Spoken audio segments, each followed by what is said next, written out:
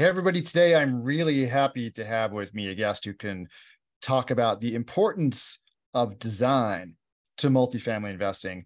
I'm really happy to welcome Lisa Landry to the show. Thanks welcome. for having me. So, uh, just really briefly, uh, just tell our audience in you know 30 seconds who you are and what it is that you're doing right now. Yeah, I have two different companies. One is an interior design firm called Landry Designs that I started actually 25 years ago and started out in residential and commercial and worked into multifamily about 15 years ago. And then I started another company a few years ago called Above and Beyond Multifamily, where I'm investing in multifamily and uh, then moved up to GP and even asset manager. And so running both of those businesses at the same time, utilizing the skill set from my design company to really add value and, and increase the NOI and the actual value of multifamily properties. So, leaping off from there, you know, actually, the first question I want to ask you uh, is, uh, you know, how is it managing two companies? I mean, they're obviously they're they're in related businesses, but it's not exactly the same. They're probably very different skill sets, different teams that you have involved. So, how do you how do you how do you do that? How do you manage two kind of distinct companies like that? Yes, and it can be very challenging, but I really prepped for it before I started this second company. I made sure that I had infrastructure in place with Landry Designs where I have management team there. We have a team of about 20 and I have managers that run it on a day-to-day basis and I am involved as much as I need to be and I go in once a week and lead the team meeting, um, make sure that you know everything's going smoothly and, and check in on it daily actually. But then I spend you know the other 50% of my time running the multifamily side of things and you know doing capital raising deal finding underwriting asset managing marketing all the kinds of things that come with multifamily. And so i'm, I'm really just about 50% in, in each business. And and so how did you build that structure? Because i think you know this, so this is like a lot of people want to get to this point right where their business can can kind of run without them right? It sounds like it sounds like as long as you're there to provide particularly for Landry design, if, as long as you're there to provide the high level guidance and kind of be the ultimate decision maker, the company kind of runs on its own. So how, how did you how did you get it to that point?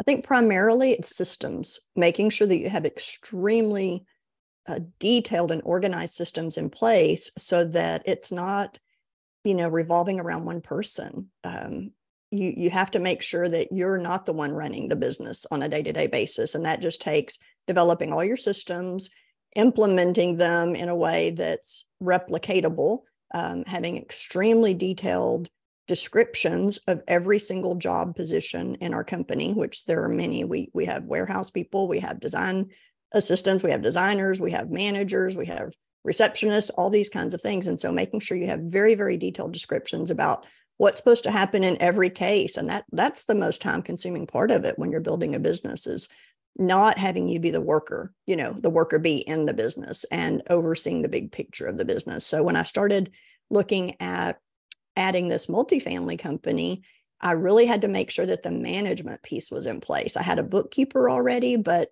you know i was there every day. I was at the studio every day running the business. And so if i was going to pull out and start this other company how did I make sure that the day to day was taken care of? And so I had to spend a lot more time developing these systems, putting into place. This is what you do when this happens. This is what you do when this happens. This is what you do when this happens.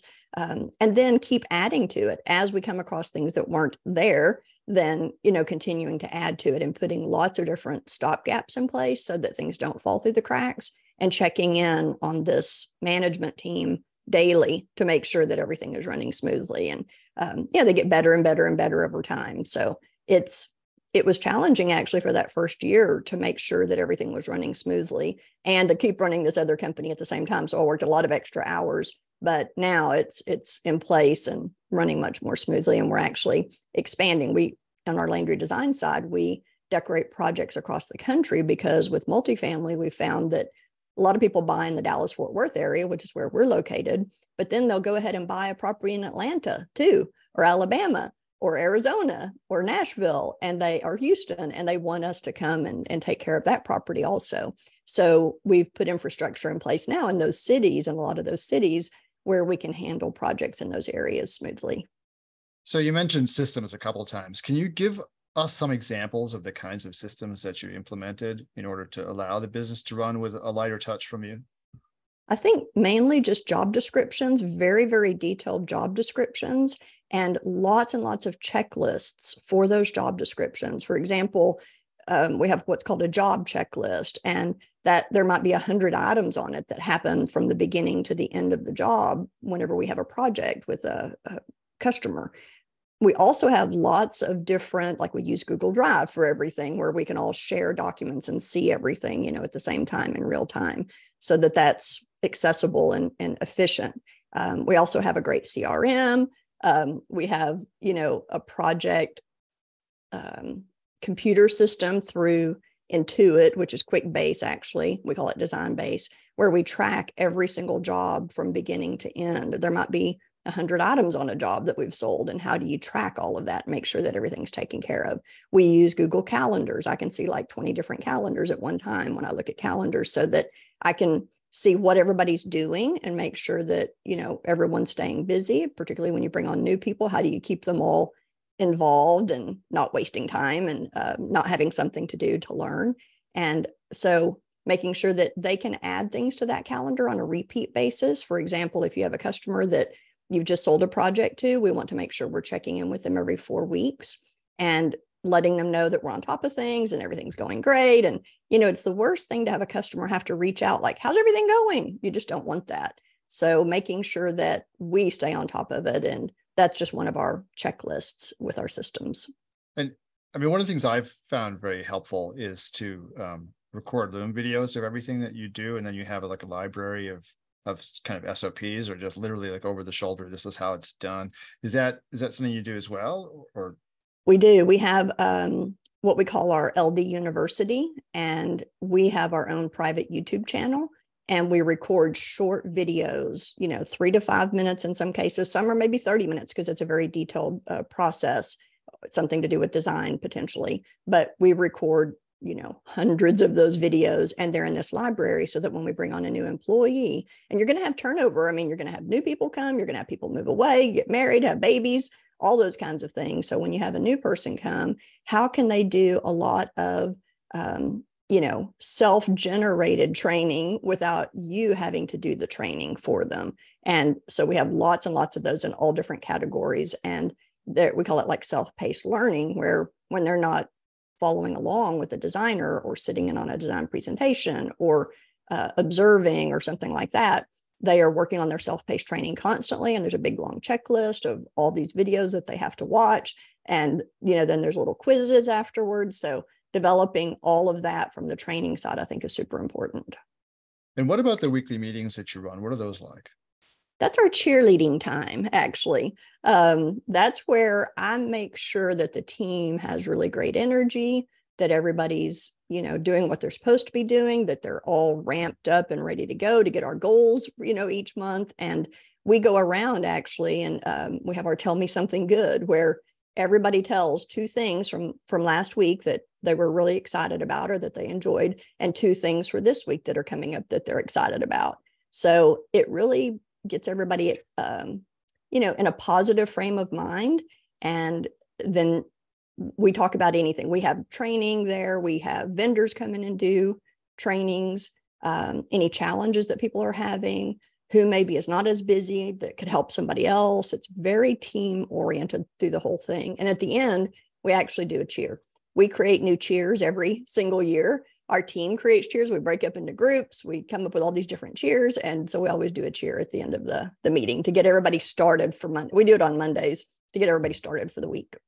And then, sort of one last question on this point before we move on: um, Do you sort of how do you manage like KPIs and stuff? Do you run something like EOS or Traction or is some is some other system that you've implemented to to help kind of keep the machine going? Yeah, we actually do all of that through QuickBase.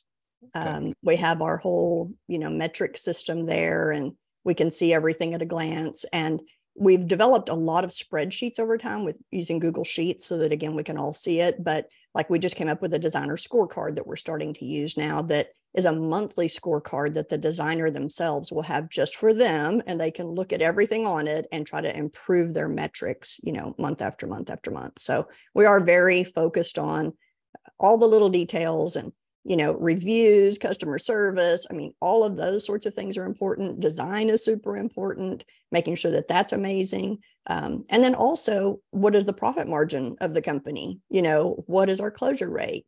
What um, you know how what's our leads? How many leads are we getting? Where are they coming from? So really assessing all of the marketing side of things too and you know using a digital marketing agency to make sure the seo is good. There's lots and lots of pieces as you know running a business and looking at all of those. And uh, how long did it take you to set this up?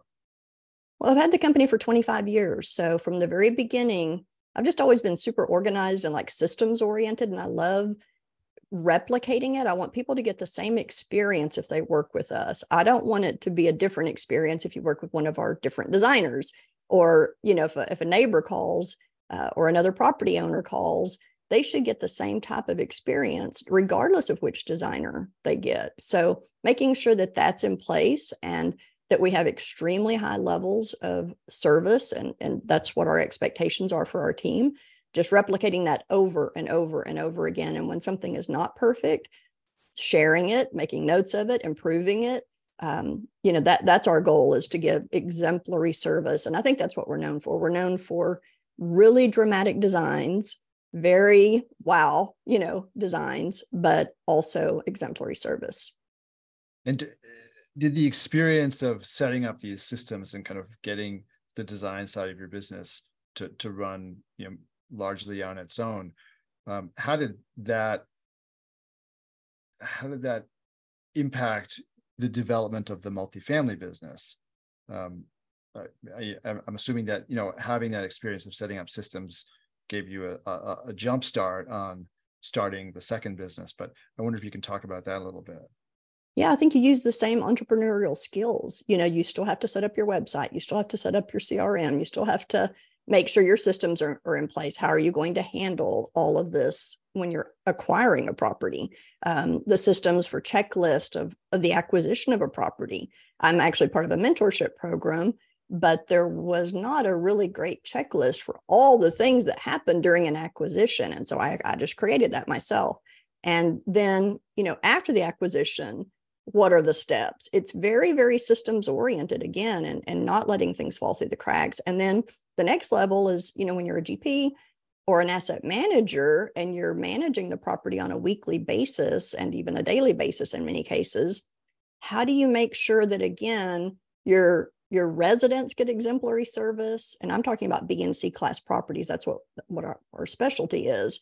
How do you make sure the residents get exemplary service the potential residents get great service and, and want to live there, and your on site team does not want to leave. That's very expensive. So those are the three things that we focus on from the design side is how do we get potential residents to move in quickly so that we can get the occupancy up really fast? How do we get current tenants to renew at the higher rents that you're going to be asking because you're elevating the property? And how do we make sure that that, that on-site team loves coming to work every day? And loves this new environment that they're working in and does not want to leave because it's so expensive to train somebody and get a new manager or leasing agent in that the residents don't know. So from the design side of things, that's what I'm always thinking is, you know, yes, we need to look at construction and uh, amenities and asphalt and parking and signage and all those kinds of things. But these other three things are really what quickly drive occupancy up, uh, you know, and rents up and then the NOI up. And so then that begs the question how do you do that? How do you do those three things? Really curious about that. The first thing that we look at is the website. We always, when we're looking at a property, when we start with a multifamily project, um, we do a complimentary consultation, a Zoom introductory call with the ownership team and the property management company. And we do our research first. So we're looking at the website. What does the logo look like? What is the name? What is the tenant base? What pictures are on the website how do those look would people want to come look at this property because that's where people look first. So the website is you know super important. The next thing is if when we do our on-site visit how does it look when you drive up? Like can you find the leasing office? You know what does the signage look like? Is there directional signage? Then the next thing is what does the leasing office look like from the outside? We're we're taking a look at everything from Um, the walkway as you walk up, is it spotlessly clean? Is that rug in front of the door spotlessly clean? Is the front door freshly painted? Is the handle nice and new? Uh, when you open that leasing office door, does it squeak? These are little things that tell a potential resident that the property is or is not maintained well. So when they walk in, we always say you have about 15 seconds for someone to decide if they might want to even consider living there. So when you walk in the leasing office, and we think the leasing office is the hub of the wheel, it's the most important element. Are they immediately greeted and does someone stand up to greet them? That's what sets you apart from other properties. So we always talk to the on-site team about you must stand up to greet, um, you know, as soon as someone comes in. What does it look like? What do they see when they first come in? We don't want them to see like a desk when they first walk in. We want it to be like a lounge, so it almost looks like a model home when you walk in, even in B and C class properties. So making sure that transition is done correctly. Um, and then what does it smell like? Many cases you walk in and it doesn't smell good. Maybe it smells like trash that they haven't taken the trash out from the kitchen. Um, even if you just make a cup of coffee at the beverage station and leave the coffee sitting there, that smells better than you know trash. Mm. Making sure the trash is taken out daily. Um, and then what do they hear? So we don't like people walking into a really quiet environment. It just feels awkward, particularly if it's a smaller leasing office. So making sure there's some kind of background music playing, even if it's just on the computer, you know, of the leasing agent or the, the manager that's there. All these little things, people don't know why they choose a property, but they're looking at four to five properties in one day in many cases. They're going from property to property to property. So whatever we can do to make them remember, oh, this was that one that had the super cool chandelier when you walked in, or the blue lounge, or uh, that was that one where that leasing agent stood up and came over and said hi. You know, these little things set you apart. And that the property that I'm an asset manager on, um, you know, it was a C class property. We've brought it up to a B. Uh, it's 100% occupancy. We continue to raise rents because we don't want to be at 100%, um, but it's just very low turnover. Uh, we've elevated the tenant base. The leasing office is amazing. The model unit is the next thing we typically look at the model unit, the unit interiors. You know, ha- it doesn't have to be expensive to do these changes necessarily, but what does it visually look like and, and how does it feel? So, leasing office is really first, model unit and uh, unit interiors, but we're also looking with the on site team or the ownership team at the exterior. What does the paint look like? Are you going to paint the brick? Do you just need accent colors? um, every little thing there's even even the trash that's around the property a lot of times when we walk these properties we notice that there's certain areas that there's trash that people have just like dumped their lunch you know their bags or whatever and so we always recommend putting a trash can in that area and that's just such a small thing. But when you put a trash can in the area they use it. If there's no trash can and they have to walk real far then you've got trash you know on your property. The other thing that we always look for is what we call tiny trash. And that's the little tiny things that get dropped everywhere, like in the flower beds. It could be cigarettes, it could be all kinds of small things, little bottle caps, different things like that. If that tiny trash is not kept up with on a daily basis, it just inundates the property and it looks so poorly maintained. So um, we, we want to take you know B or C class property and elevate it to the maintenance level of an A class property, and then you know elevate all of the the amenities as well.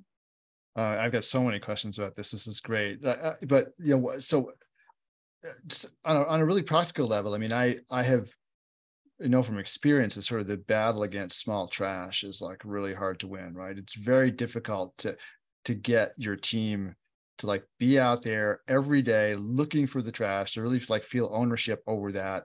And and so how do you how do you get your team to, to do that? Yeah, what I do again, I become the cheerleader. Uh, I do an on-site visit to that property every two weeks, and I get with the maintenance guy because he's the one doing it. It's a smaller property; it's like 108 units, and so he's the one walking the property every morning, and he is picking up all the bigger trash. But this tiny trash was just growing and growing, you know. So I got with him, and and I just said, you know, Ignacio, let's walk this, and let's walk it together. And this is what I'm seeing. Like this is what I call tiny trash. Could you please? you know, over the next few days, focus on one area of the property at a time and get all the tiny trash gone.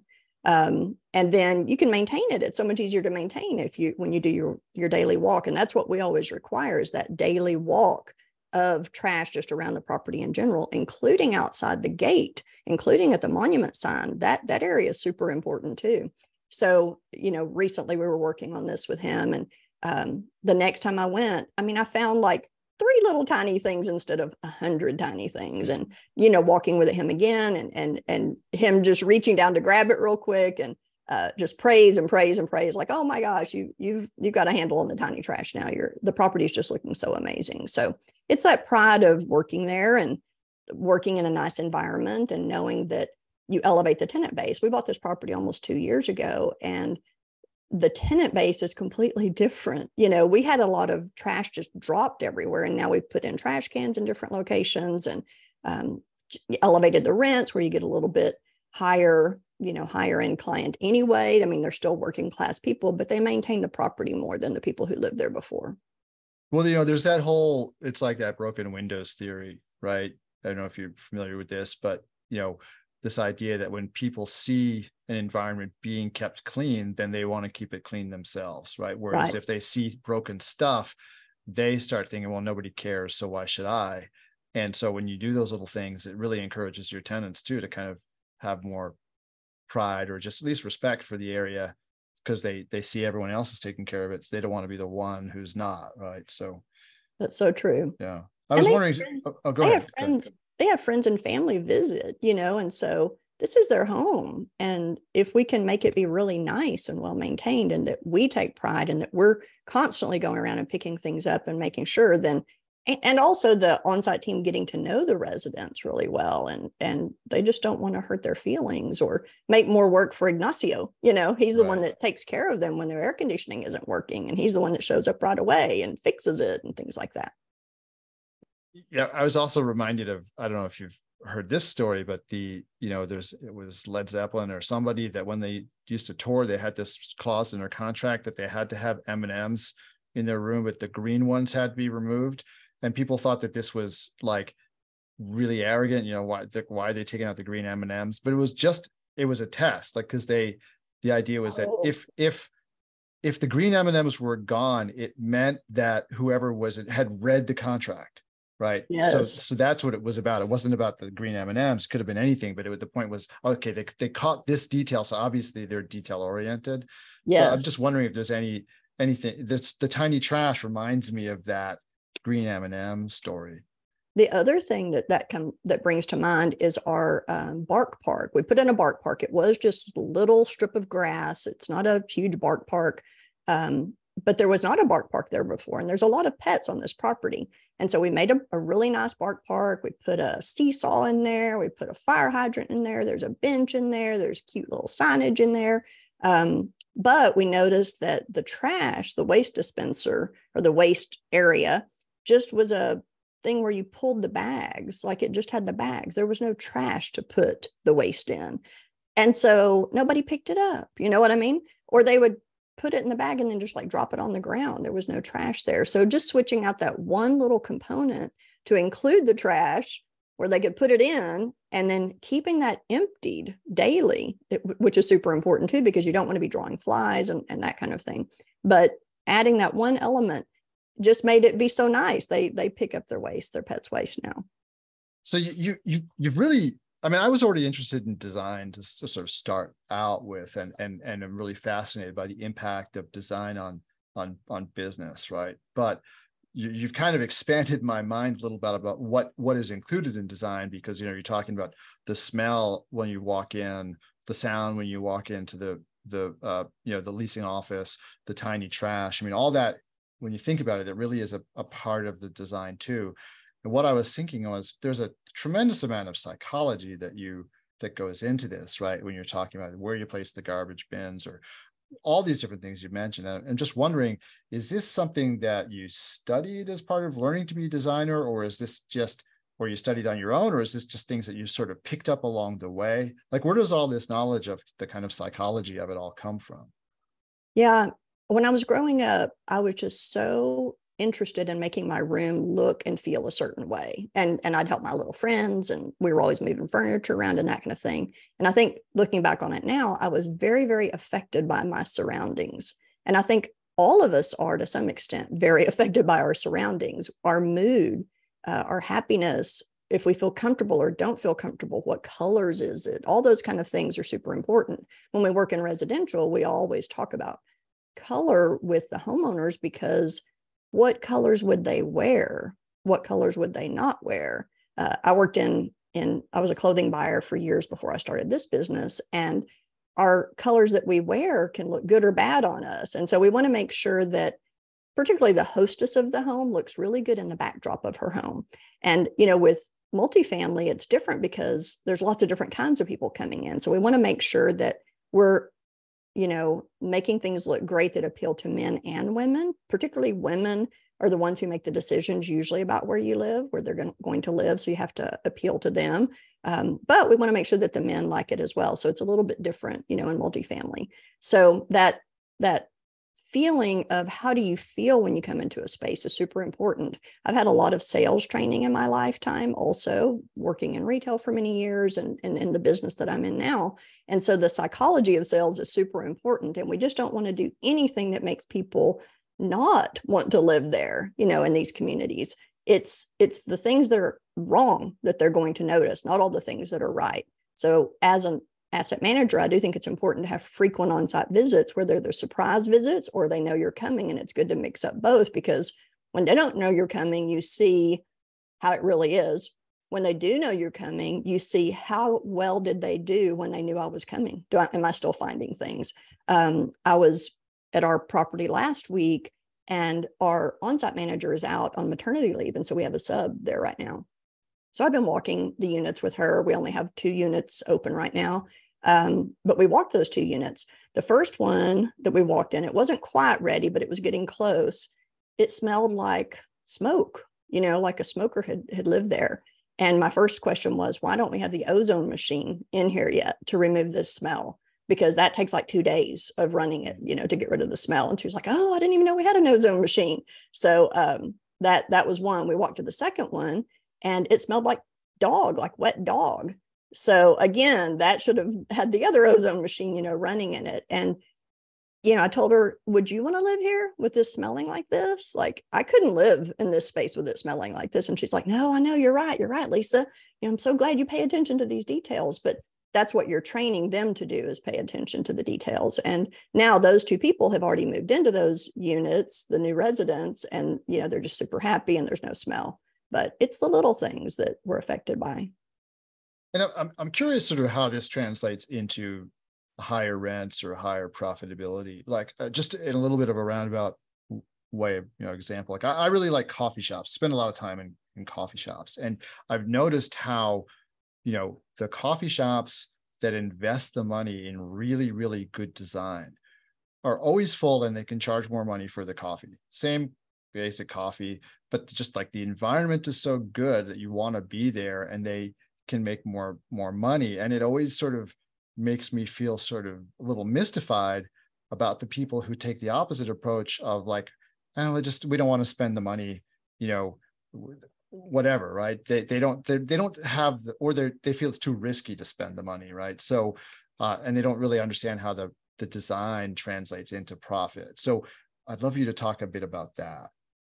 I think what the case is in multifamily is that it's primarily men in this industry and they love doing the business plan they love the acquisition process they love you know getting all the construction money and having all these fun masculine you know cool things to do to uh, add a soccer you know place or a soccer field add um, the bark park add you know redo this asphalt change something with the mailboxes you know exterior construction of fences and all those kinds of things. And I do think those things are important, but they, in many cases, ignore the design side. And the design side is what make people want to live there or not. Um, again, people are looking at a lot of different properties. So if we can set it apart, I think it's super important. And in the leasing office in particular, they'll tell me, like when we start with a new group, a new ownership group, they'll say, Well, Lisa, why would we spend that money on the leasing office? People don't even use the leasing office. It's like they can you know do pay their rents online they can put their maintenance request in online. So it's just you know the on-site team is there. And that is so not the case because we're on site with these properties all the time. There is a revolving door in all of these properties. And I don't know why they all come in, but there are a lot of people in that leasing office, and it's potential residents coming in to take a look. Um, it's current residents coming in to just talk, and they're bored sometimes, and they just want something to do. And uh, maybe they have a question about the maintenance request, or they have a question about payment, you know, situations, all those kinds of things. So it's very, very used actually. And and in addition, the on-site team works there every day. They're there for, you know, a third of their life, eight hours a day. And so how does it look and feel to them? And are they proud of where they work? And do they feel comfortable charging these higher rents? And they do because the property has been elevated. So they're small things, but how can we make the leasing office look like a model home when you walk in, like really dramatic, like so memorable that you cannot forget it? We always recommend doing that first, the leasing office first, to get those uh, redone spaces professionally photographed and get those images on the website as fast as you possibly can because you don't want to spend the money and then not do the professional photography and get those images on the website. And when we start with a new group, in many cases, they haven't budgeted enough for us to do what we need to do and to really make the transformation. They might, you know, say, well, we have this much, what can we do? And we do it and they see, well, even that made some difference, but not as much as it could have. And then on their next property, we we we actually have a, a menu of services that has budget ranges they'll plug in the correct number you know for the next project and then we can make a huge transformation and so then what we see is very quickly the occupancy goes up. And then once the occupancy goes up, you can start raising rents. And most of the properties that we have helped with sell within two or three years. And you know they're just re- they just get such a great offer that they're ready to move on to the next property. So I do think you get a huge ROI using design, um, and you know just making sure you leave some budget for us to to make that difference. If you either have a limited budget or you didn't think about this enough beforehand what is like if there's one single thing well let's just say for whatever reasons there's there's only one thing that a par- apartment owner can do that for whatever reason time money budget you know whatever it is. There's one thing they can do. What what what would your advice be to them? Like the one thing that they absolutely must do that's going to give them the biggest like roi yeah i would say the leasing office uh, second to me would be signage because that's a first impression space also. Like, what does the signage look like when you come in? But you can sort of get past that if the leasing office looks amazing. But those two things really go hand in hand. That's your image and your branding. And so I guess if I had to say one thing, it's image and branding. Like what what is your potential, you know, customer or current customer seeing? What do they think of you? Um, even little things like we do something that costs nothing. We do a monthly newsletter for our residents and we print it and we put it on every door. And that doesn't cost but 30 bucks or something, but it's something that has like free events in the area that are going on that month. Um, resident, like a like a very inexpensive resident event that you can do monthly.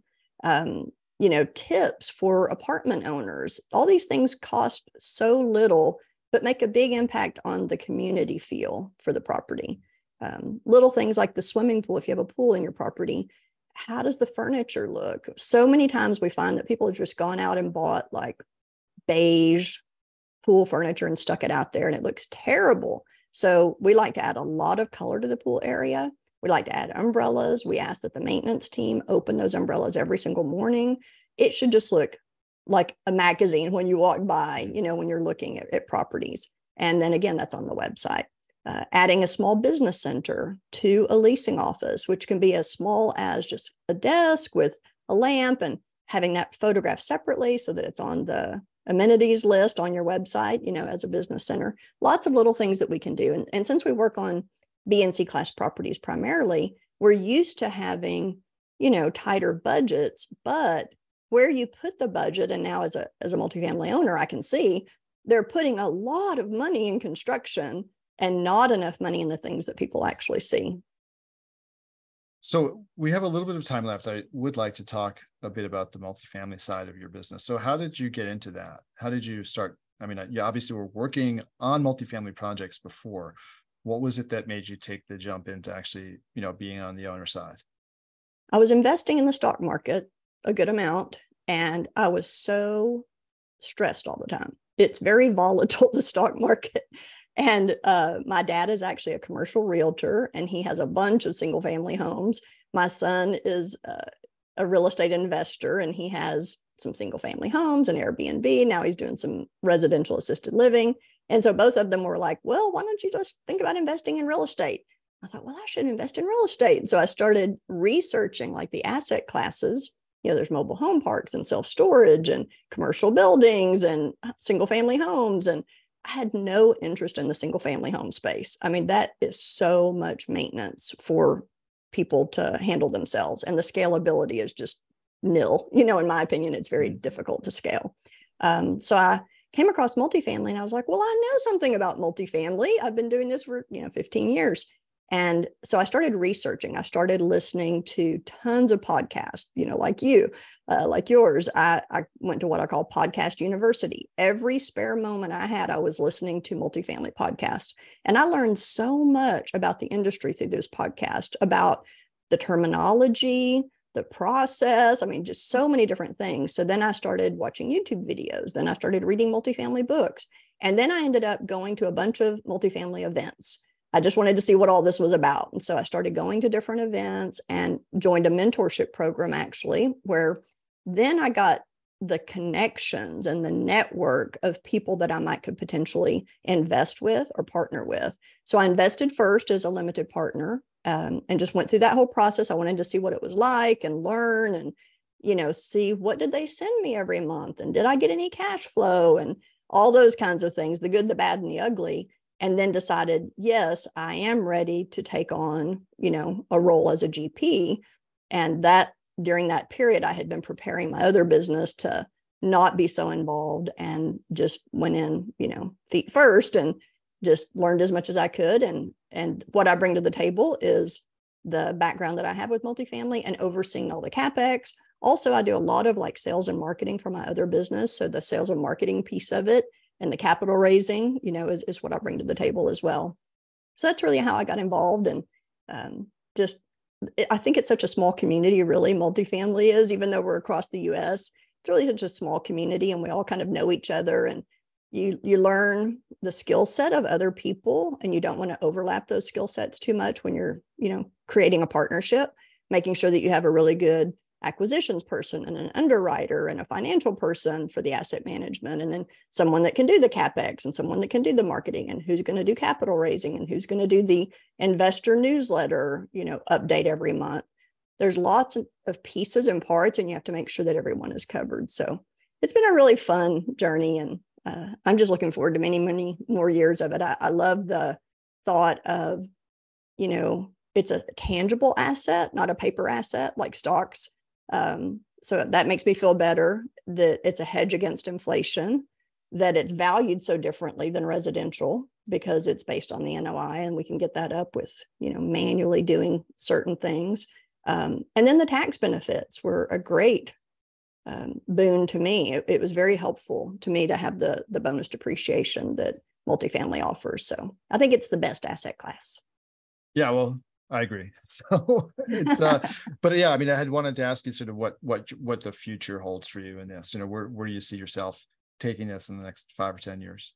Yeah, I want to just keep acquiring properties. You know, we're in a weird time right now with um, availability of, of deals uh, but we're constantly underwriting and touring and looking at deals. And so just want to continue acquiring you know the property that i've had for almost two years. We're looking at even potentially selling this next year uh, but i want to keep acquiring and you know adding to my portfolio. And then on the design side we're just expanding more and more into to other cities and and making sure that we can help people grow their multifamily businesses as as large as possible too. Well we've run out of time, but that was a really fascinating discussion. I really appreciate it. Everyone who's listening, if you have not been convinced by the importance of design in your multifamily repositioning projects, you know, I, I don't know where you've been for the last 45 minutes, but you should be convinced by now. Um, so Lisa, where can people reach you if they would like to, uh, you know, become part of your world? Yes, if they're interested in the design side, then I would email info at Landry Designs, and that's plural, landrydesigns.com. If they're interested in investing or in or joining our investor club through my above and beyond multifamily company, then they can send an email to uh, Lisa at grow above and beyond. That's wonderful. Well, I highly encourage you to reach out to Lisa. Uh, th- this has been a great conversation. Thank you. I really appreciate your your time and all of your insights and all this amazing experience that you shared with us today. Thank you for having me. It was a lot of fun.